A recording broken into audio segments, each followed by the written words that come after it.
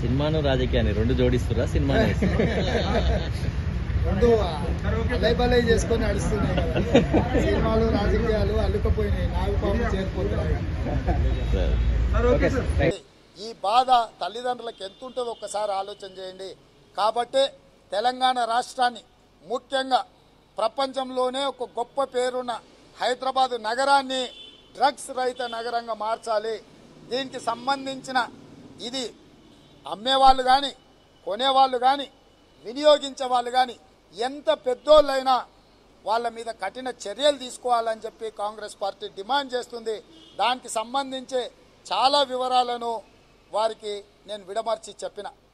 ఇవాళ రాష్ట్రంలో ఉన్న సినీ అదేవిధంగా రాజకీయ వ్యక్తుల యొక్క అలైలు బలాయిలు అన్నిటిని కూడా ఈ విచారణ సందర్భంగా పరిగణలోకి తీసుకోమని చెప్పిన.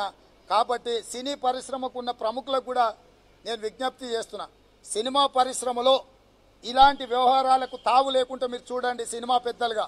సినిమా ఇండస్ట్రీ సమాజానికి ఆదర్శంగా ఉండాల్సిన ఇండస్ట్రీ. మీరు తీసే సినిమాల ప్రభావము సినిమాలలో నటించే హీరోల ప్రభావము సినీ ప్రముఖుల ప్రభావము సామాన్య ప్రజల మీద తెలంగాణ సమాజం మీద ఉంటుంది కాబట్టి మీరు సమాజానికి ఆదర్శంగా ఉండే విధంగా మీ ఇండస్ట్రీని మీరు కాపాడండి. మీ ఇండస్ట్రీలో కొంతమంది చేసే తప్పుల వల్ల మొత్తం ఇండస్ట్రీని తప్పు పట్టాల్సిన పరిస్థితి వచ్చింది. కాబట్టి దయచేసి రాజకీయ ప్రముఖులతో మీరు అంటగాగుతాం మాకేం అభ్యంతరం లేదు. మీరు అల్లాయి బల్లాయి చేసుకుంటే అంతకంటే అభ్యంతరం లేదు. కానీ ఈ అల్లాయి బల్లాయి ముసుగులో అడ్డగోలుగా వ్యవహారాలు ఎవరైనా చేస్తే మాత్రం తాట తీయాల్సిన పరిస్థితి వస్తుంది. పన్నెండు నెలల్లో కాంగ్రెస్ పార్టీ అధికారంలోకి వస్తుంది. డిసెంబర్లో ఈ ప్రభుత్వం రద్దు అవుతుంది మార్చిలో ఎన్నికలు వస్తాయి. ఎన్నికలు వచ్చిన తర్వాత కాంగ్రెస్ అధికారంలోకి వస్తుంది.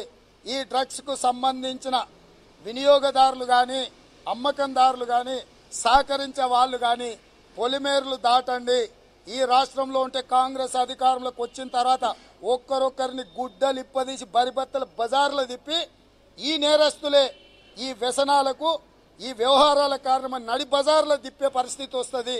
చార్మినార్ దగ్గర బట్టలు లేకుండా డ్రాయర్ మీద తిప్పుతా కాంగ్రెస్ అధికారంలోకి వచ్చిన తర్వాత ఈ గంజాయి ఈ డ్రగ్స్లలో పాల్గొనేటోళ్ళు మీరు ఎవరైనా ఉండొచ్చు కాక మీ వెనకాల ఎవడైనా ఉండొచ్చు కాక మీరెంత ప్రముఖ నటులైన అయి ఉండొచ్చు రాజకీయ నాయకులైనా అయి ఉండొచ్చు.